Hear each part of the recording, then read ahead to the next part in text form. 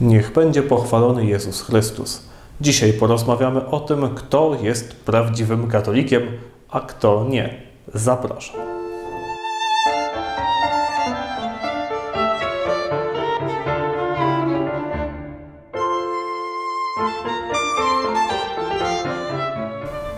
Odnoszę się w tym materiale do filmu pana Tomasza Samołyka o tym samym tytule: Kto jest prawdziwym katolikiem? Pan Tomasz Samołyk w typowym dla siebie stylu, czyli w takim lekko żartobliwym, ale jednak ostatecznie poważnym, mówi o tym, że no w kościele są właśnie takie dramy o formy. W domyśle chodzi o kontrowersje wokół biskupa Rysia, mszy świętej trydenckiej, rytów wiary itd., itd. Pan Tomasz Samołek nazywa to takimi dramami, czyli niepotrzebnymi, przesadnymi sporami o formę.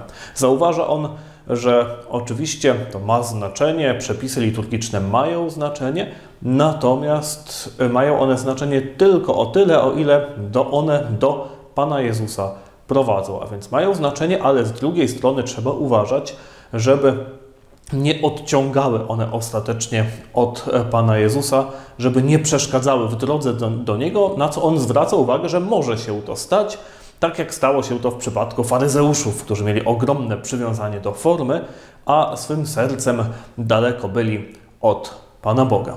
I oczywiście co do zasady jest to słuszne spostrzeżenie.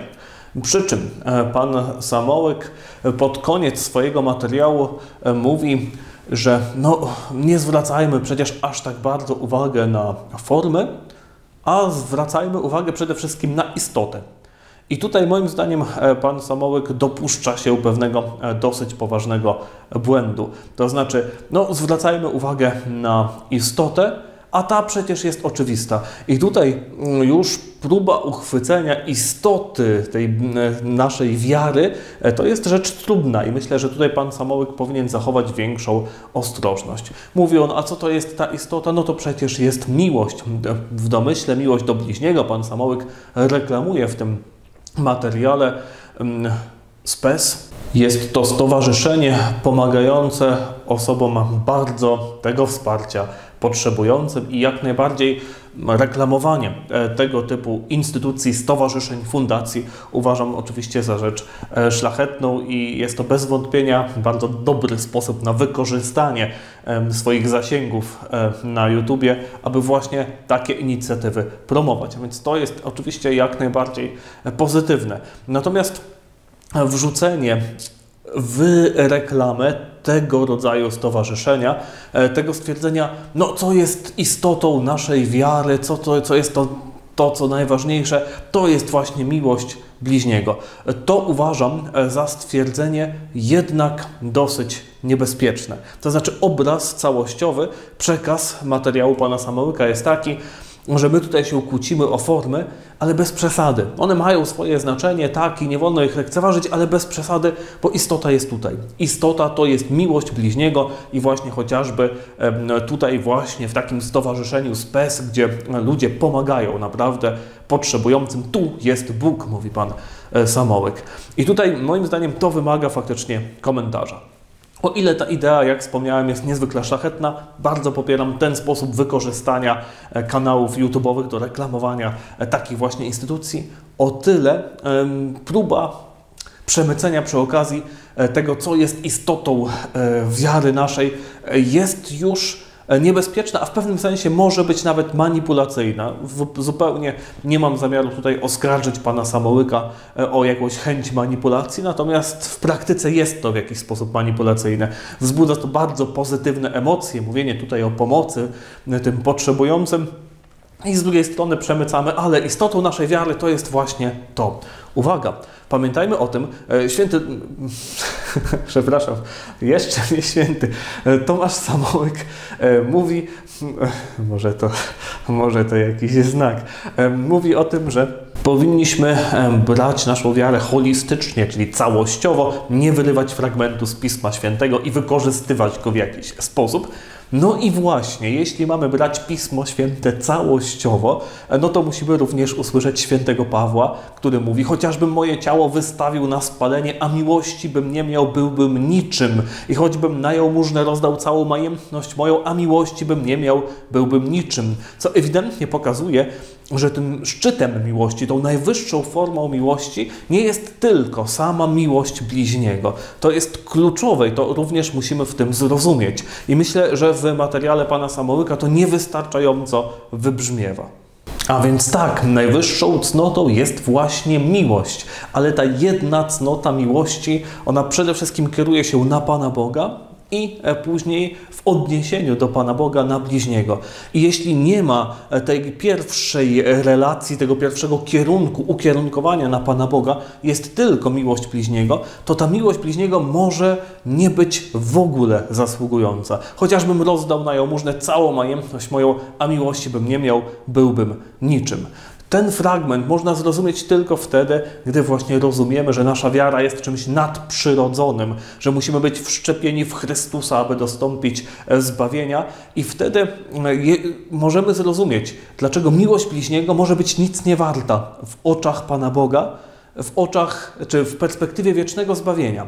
Bo Również naturalne dobre uczynki oczywiście mają swoją wartość i gdy człowiek bez łaski uświęcającej spełnia dobry uczynek, to jest to naturalnie dobry uczynek, który Pan Bóg również w ten czy w inny sposób wynagrodzi. Ale on w perspektywie wiecznego zbawienia nie jest w stanie nic zasłużyć na wieczne zbawienie. Dlaczego? Dlatego, że żaden nasz czyn nie zasłuży na wieczne zbawienie. Dopiero czyn Chrystusa może na to zasłużyć i dlatego dopiero nasz czyn w zjednoczeniu z Chrystusem może zasłużyć na niebo bo Tak bardzo ono nas przerasta, tak bardzo nasze czyny są nieproporcjonalne e, do tej nagrody. I dlatego Chociażbym rozdał na jałmużnę całą majętność moją, a miłości bym nie miał, byłbym niczym. Dlatego święty Paweł może to powiedzieć. I o tym nie wolno nam tutaj zapomnieć, że miłość bliźniego musi być w tej relacji z nadprzyrodzoną miłością do Pana Boga. Żeby mieć prawdziwą, nadprzyrodzoną miłość do Pana Boga, potrzebujemy Go znać. Tak jak święty już tym razem Tomasz Zakwinu mówi, e, na tyle człowiek miłuje, na tyle, na ile poznał. Musimy poznać Pana Boga przez wiarę, aby móc Go miłować. I dlatego walka o czystość wiary jest walką kluczową. Nie jest możliwa prawdziwa miłość do Pana Boga bez prawdziwej wiary bez poznania Pana Boga. Nie oznacza to, że z automatu e, głębokie poznanie teologiczne od razu prowadzi do miłości. Ono powinno prowadzić, natomiast oczywiście nie działa to automatycznie. Z kolei człowiek poznający Pana Boga dogłębnie, ale niezwykle prosto. Na prosty, chłopski rozum, można powiedzieć, oczywiście może poznać go bardzo dogłębnie i faktycznie zjednoczyć się z Panem Bogiem niezwykle e, blisko. To nie jest tak, że studium z automatu prowadzi do miłości. Oczywiście nie to chcę tutaj powiedzieć. Jednak musimy Pana Boga poznać i błąd w poznaniu Pana Boga e, może okazać się fatalny w kontekście właśnie prawdziwej, nadprzyrodzonej miłości do Pana Boga. I o tym nie wolno nam zapomnieć. I ten punkt jest kluczowy dla naszej walki o wiarę, co niestety pan Samołek nazywa niejako no, walką o formę, kłótnia, kłótnie są to o formę dramy w Kościele. Uwaga, jeśli mamy do czynienia z herezją w Kościele, która wypacza wiarę. To ta herezja niszczy miłość, ta herezja niszczy istotę naszej wiary. Jeśli niszczy, niszczy treść naszej wiary, to atakuje to, co najważniejsze, bo człowiek bez prawdziwej wiary nie będzie mógł prawdziwie miłować. Jeśli herezja wypacza naszą wiarę, to niszczy istotę naszej wiary. A więc tego nie wolno lekceważyć. Nie można tak powiedzieć, o tutaj jest, są prawdy wiary, no ale najważniejsza jest miłość. Nie. Te rzeczy stoją ze sobą w bardzo głębokiej relacji i to również mamy w Piśmie Świętym, skoro chcemy holistycznie na nie patrzeć, wielokrotnie potwierdzone. Święty Paweł, który um, upomina Tymoteusza, aby on walczył o czystość wiary, aby on wykazywał błąd, aby on wskazywał, bronił czystości wiary, bo bez wiary nie można być zbawionym.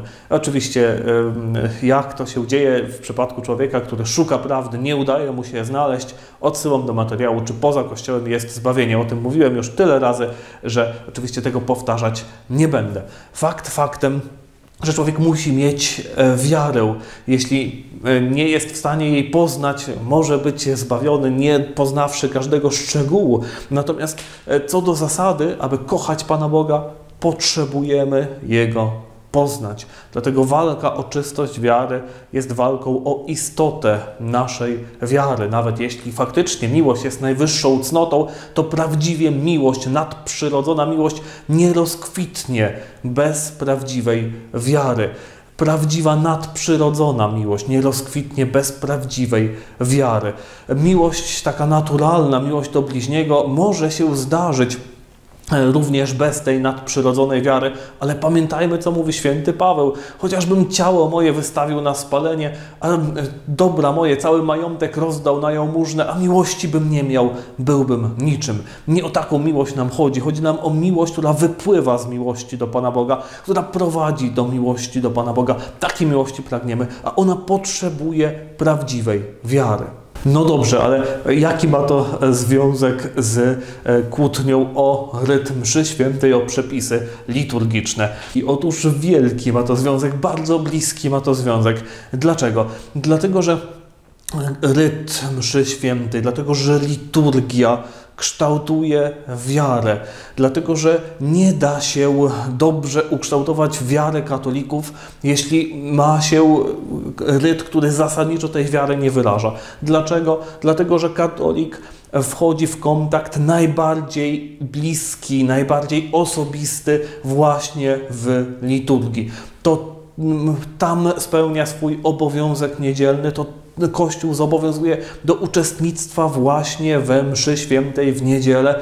Każdy katolik który na poważnie e, traktuje swoją wiarę, uczestniczy co niedzielę w mszy świętej, a więc nieustannie ten ta msza święta, liturgia, modlitwy, przesłanie, kazania, teksty, to nieustannie go formuje. Te postawy, które człowiek zachowuje, które przyjmuje w trakcie liturgii, to nieustannie kształtuje jego wiarę. Jak się odnosi wobec Najświętszego Sakramentu, jak się odnosi wobec samej liturgii, to znaczy, czy traktujemy ją bardziej jako spotkanie, czy bardziej jako ofiarę, czy bardziej skupiamy się na czci Bożej, e, czy bardziej na spotkaniu, to wszystko ma kluczowe znaczenie e, w kontekście tego, jak traktujemy Pana Boga, jak podchodzimy do naszej wiary i tego lekceważyć nam nie wolno. A więc ten konflikt o liturgię to nie jest drama, która jest takim o bezpotrzebnie niepotrzebnym biciem piany. To jest walka o samą istotę naszej wiary. To jest walka o czystość naszej wiary. To jest walka o prawdę. To jest walka więc również o prawdziwą, nadprzyrodzoną miłość. Można by użyć takiego porównania.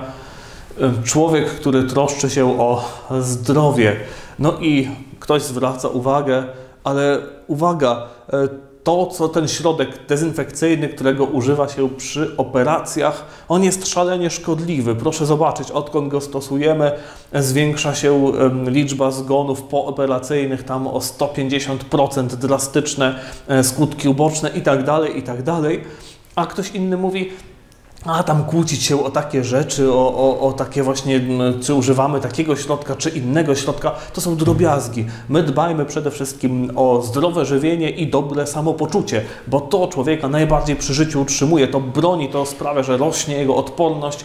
E, ten człowiek, który jest psychicznie silny, e, ten i który jest wyspany i zdrowo się odżywia, on sobie ze wszystkim e, poradzi. No, czy to jest roztropne? Nie, ewidentnie nie jest roztropne. To znaczy, jeśli mamy krytyczny problem, fatalny problem gdzieś w tej trosce tutaj o zdrowie, no to trzeba go po prostu naprawić. Jeśli w życiu duchowym mamy fatalny, krytyczny problem w tym, co kształtuje wiarę wiernych nieustannie, no to po prostu trzeba go naprawić i sama miłość do dusz się tego domaga. I nie można się tutaj zasłaniać tym, że a, to najważniejsza jest miłość i wszystko jest w porządku. Właśnie miłość do dusz zmusza nas do tego, żeby błędy naprawiać, żeby prawdziwą wiarę głosić, żeby o prawdziwą wiarę walczyć, żeby cierpieć dla niej prześladowania. Niech będzie pochwalony Jezus Chrystus.